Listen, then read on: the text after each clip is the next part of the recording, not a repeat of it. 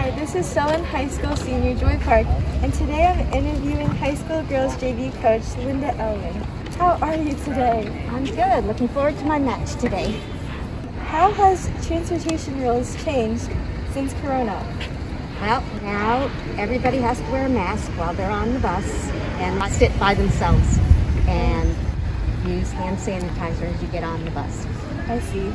Any other big regulation changes during this season? Coaches have to wear masks from the minute the girls show up till the end of the matches. The girls have to keep their masks on unless they're playing ball.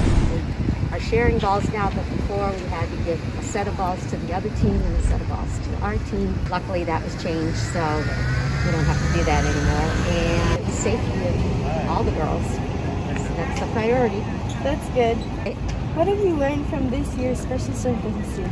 It was interesting because all the girls are complying. I mean, nobody is arguing about it, and everything's been working out great, and not much other than the regulations that you know we have to follow. Is there anything else you would like to add? Great bunch of girls, good season this year, and I'm just glad that everybody's healthy.